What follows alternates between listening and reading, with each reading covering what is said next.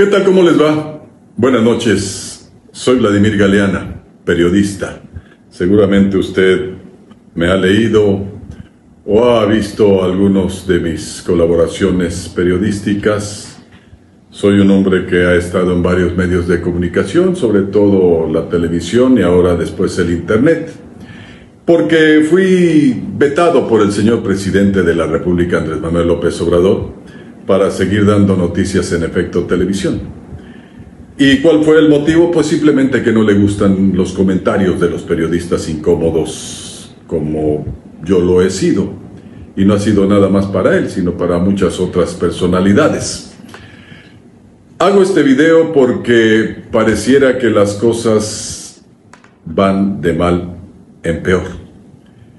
Y lo digo abiertamente porque pues ya he recibido por ahí algunas menciones acerca de que pues sigo en la lista de los la lista negra de los periodistas de este país. El señor presidente de la República, el aún presidente de la República, siempre ha sido un hombre bastante, bastante enfático para señalar a quienes no no nos sujetamos a sus designios. Esa es una realidad.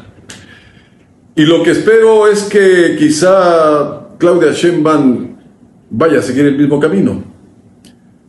Y si de eso se trata, yo lo único que quiero decirle a todos mis amigos, a quienes han estado conmigo durante tantos años en estas eh, importantes formas de la comunicación que se da ahora, pues yo quiero decirles que seguiré haciendo mi trabajo con toda la voluntad para que sea mejor cada día.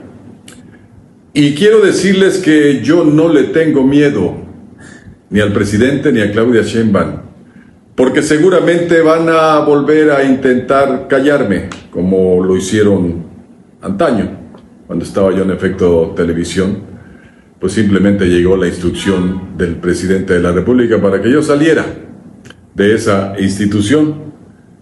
Y bueno, pues estoy en algún lugar del país y estoy haciendo mi trabajo y voy a seguir haciendo mi trabajo.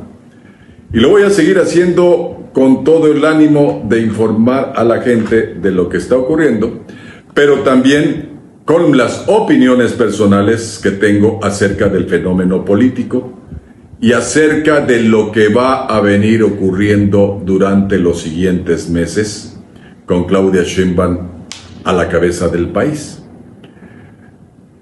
Qué mal, qué mal que el presidente tenga esa parte negra de haber censurado a los periodistas.